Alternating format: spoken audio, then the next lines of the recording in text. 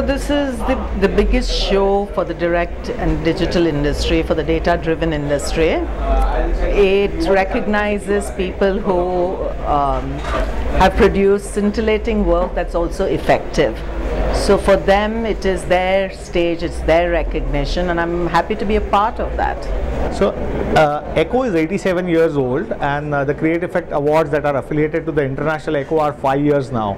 Uh, the journey has been uh, stupendous. So, this is one award that marketeers uh, love because it not only covers uh, creativity but the strategy behind it as well.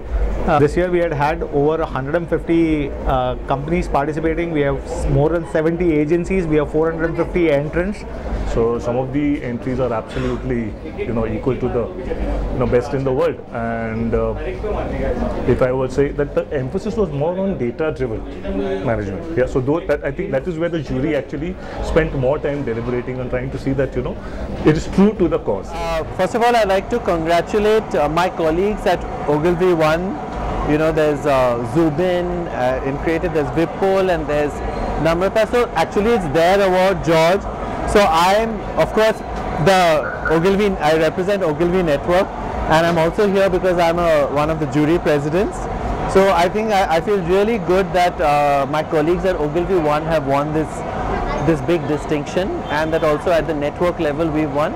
So it, it feels really, it always feels good to win and you know our chief guest Baman said that you know never get cynical and always celebrate uh, you know, that, that great feeling of winning an award. Remember the first time that you won an award and always remember that feeling. This is the premier direct award.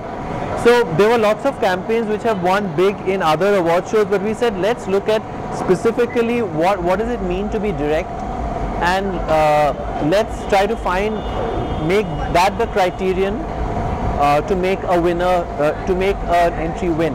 So I think that that was the satisfying part was which is why you saw that there were certain Grand Prix which were not awarded, for example, because we said that only as a direct entry, if it made sense and it, it did something worthwhile as a, a truly direct entry, we gave it the award. Yeah, with three goals, I think uh, we really sort of cover the pops and absolutely ecstatic.